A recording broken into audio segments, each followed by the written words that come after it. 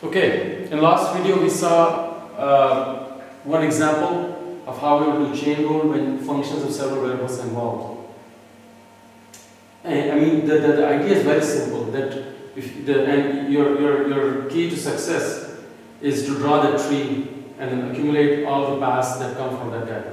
So you know what, I'm going to right away go ahead and just throw a very complicated example here and see that complicated example is no more complicated than that in terms of ease of working with it. It's just as easy to process. So let's say W happens to be a function of x, y, and z.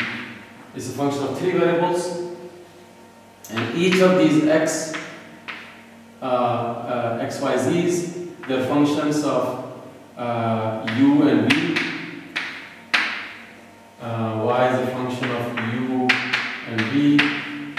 is a function of u and v, and both u and v are functions of t. Okay? And well, let's draw the tree diagram to see what kind of questions can be asked. So w is a function of x, y, and z, and x is a function of u and v, y is a function of u and v, and z is a function of u and v. And each of these u's and v's are functions of t. Okay?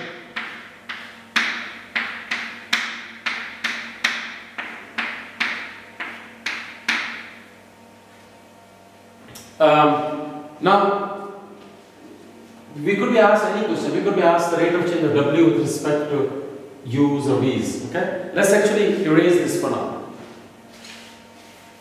I'm, I'm going to first ask you some questions like what's Alright, so when you if you want if you draw a diagram here where you eliminate the intermediate layer, what do you have? W is a function of U and V, right?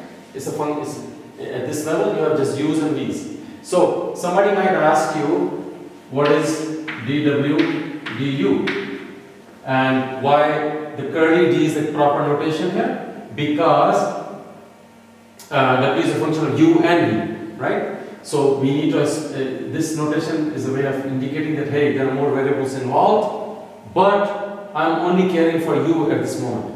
So how will i calculate dw du well i'll accumulate all the paths so I have one path here, one path terminating here, one path terminating here. And I will accumulate the, the, the I will accumulate the derivative that comes on each path terminating there using chain rule from 1D calculus. So you will have this will be curly d curly uh, dw curly x because w is a function of x y z. So you need to use the curly notation times dx du. Okay? Is that clear? Plus, let's go to this u. w dw dy times dy du plus the third guy will be dw dz dz dy. Okay? So that's that's easy enough. Um, if you had to do dw dv, right? It would be very similar, except the only difference would be these du's would be dv. Oops, sorry, mistake here. Sorry about this. This should be dw dz, du. Right? We're working with u, not dy. Okay, and so in this case, it will be dw dx times dx dv and you can go ahead and fill that yourself. Now, what if somebody asks you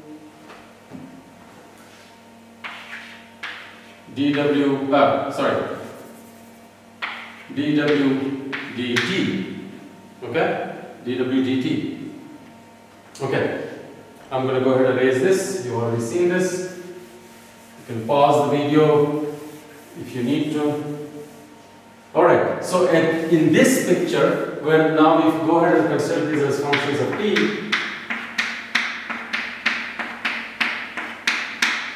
think about w is just a function of t, right?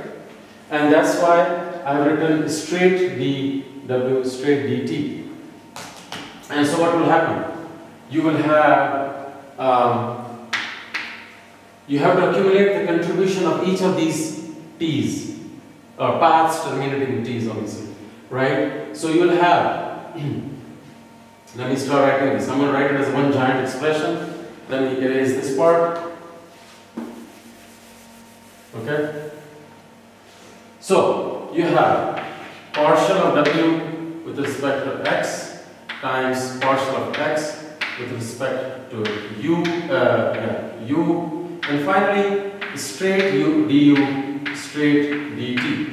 Right? This is the contribution that comes from this path. Just that single, that's a single one from coming from there. Okay? Let's move on. Next one. Partial of w with respect to x. Partial of x with respect to v and dv dt. Okay? So I've done two paths plus partial of w with respect to y, partial of y with respect to u again, and du dt. Okay? Um, go, going on, partial of w with respect to y still, but this time dy, dv, uh, dy dv and dv dt. Okay? Plus partial w with respect to z, partial z with respect to u times du dt. And final term, partial w with respect to z, partial z with respect dv dt. There you go. Okay? And I'm, I'm not, I didn't even get sweaty. It's not that hard, right? So, um, really, chain rule is the simplest it can get when you have this diagram in front, in front of you. You just, just write the contribution of each branch and you're done. And that, that, that's all there is to chain rule. So I'm not going to do more examples. In the next two videos, I will show you implicit differentiation where chain rule is involved and one example where we do related rates using chain rules.